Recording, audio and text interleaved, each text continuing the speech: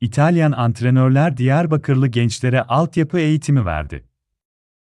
İtalya'nın dünyaca ünlü futbol devi Inter'in kondisyoneri ile gelişim antrenörü Diyarbakır'da genç futbolculara altyapı eğitimi, antrenörlere de uygulamalı seminer verdi. Dünya futbolunun devlerinden Inter'in üst düzey antrenörleri Diyarbakır'da önemli bir çalışmaya katılarak genç futbolculara ve antrenörlere eğitim verdi. İki yıl önce faaliyete başlayan ve kısa sürede önemli aşama kaydederek altyapıda model kulüp haline gelen Diyarbakır Inter Akademi'nin çalışmalarını denetleyen Inter'in kondisyoner antrenörü David Chodo ve gelişim antrenörü Valerio Ringoli iki gün boyunca eğitim verdi.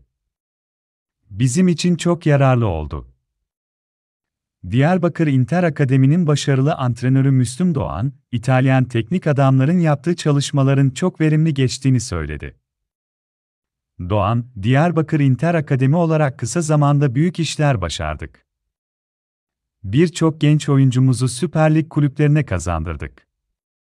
Hedefi insan yetiştirmek olan bir anlayışla çalışıyoruz. İsmini taşıdığımız İtalyan devi Inter'in altyapı eğitimi konusunda bize çok desteği oluyor. Bu çalışma da gayet verimli geçti. Diyarbakır'da inanılmaz bir futbol altyapı potansiyeli var. Bunu doğru değerlendirmek lazım. Biz bunun için çaba gösteriyoruz, dedi.